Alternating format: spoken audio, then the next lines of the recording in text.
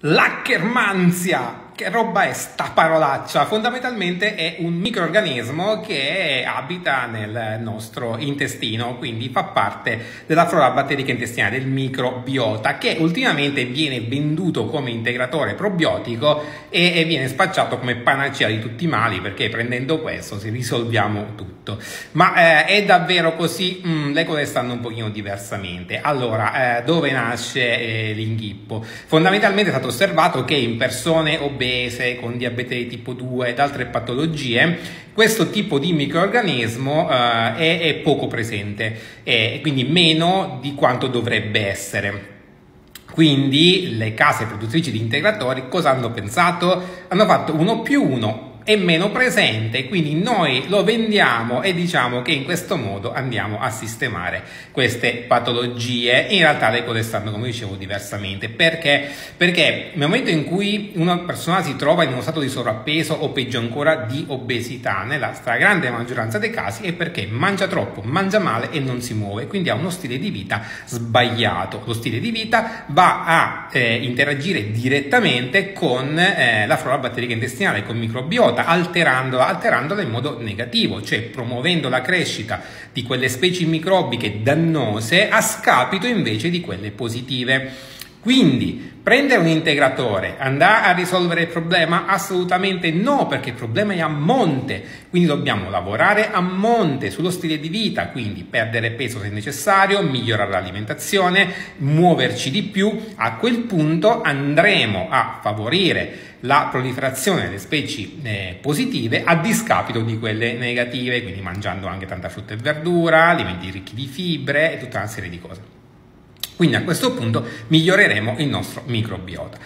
L'assunzione di un integratore di probiotico può dare un sollievo momentaneo perché va un attimino a riequilibrare le cose, ma momentaneamente, mica permanentemente, perché a monte eh, c'è quel problema, problemone, che mi va ad alterare eh, la flora batterica intestinale. Ovviamente essere in stato di obesità eh, altera tante funzionalità del nostro corpo, però in questo caso stiamo parlando di quello. E, ehm, il discorso poi della supplementazione di eh, Akkermansia eh, non ha ancora risco- riscontri clinici perché non ci sono studi, per quanto ne so, sugli esseri umani. Sono stati fatti degli studi sui topi eh, e non sugli esseri umani, quindi non sappiamo che effetto abbia sull'essere umano perché non ho trovato studi eh, clinici su esseri umani, ma solo su topi. Sui topi pare che dia un po' di aiuto eh, durante un percorso di dimagrimento, eh, però ripeto, se a monte il, lo stile di vita non è corretto, hai voglia di pigliare Ackermansia o qualsiasi altra cosa, il problema non andiamo a risolvere perché dobbiamo sempre noi eh, lavorare a monte e non a valle. Se lavoriamo a valle stiamo solo perdendo tempo nella migliore delle ipotesi. Quindi cosa ne penso? Che attualmente non ci sono studi clinici che ne eh, avvalorino l'utilizzo e comunque i probiotici vanno presi solo e soltanto se c'è un effettivo bisogno e non a casaccio, perché presi a casaccio possono fare più danni di quanti non ne vadano potenzialmente a correggere, perché comunque la flora batterica intestinale deve stare in equilibrio e quindi avere molte specie anche potenzialmente benefiche che però sfuggono al controllo, quindi in quantità eccessiva può portare comunque a tanti problemi. Quindi non prendete integratori a casaccio,